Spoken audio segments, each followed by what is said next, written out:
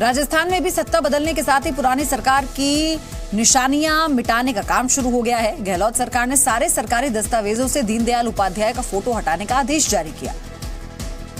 राजस्थान में अब किसी भी सरकारी दस्तावेज़, किसी भी फ़ाइल या लेटर हेड पर पंडित दीनदयाल उपाध्याय का फ़ोटो नहीं होगा। राजस्थान के प्रशासनिक सुधार विभाग ने गहलोत कैबिनेट के फैसले पर लिखित आदेश जारी किया है। वसुंधरा सरकार ने राजस्थान सरकार के सभी दस्तावेजों पर दीनदयाल उपाध्याय का फ़ोटो अनिवार्य करने का आदेश 11 दिसंबर 2017 को जारी किया था। कांग्रेस के फैसले के बाद राजस्थान सरकार के सभी तिहत्तर विभागों के दस्तावेजों से दीनदयाल उपाध्याय का फ़ोटो हटेगा। ये आदेश राजस्थान के सभी बोर्ड और निगमों पर भी लागू होगा। लेकिन गहलोत सरकार ने दीनदयाल उपाध्याय का फ़ोटो हटाने की कोई वजह नहीं बताई है। कांग्रेस ने 2017 में ही वसुंधरा सरकार के फैसले का ये कहते हुए विरोध किया था कि दीनदयाल उपाध्याय का भारत के लिए कोई योगदान नहीं था।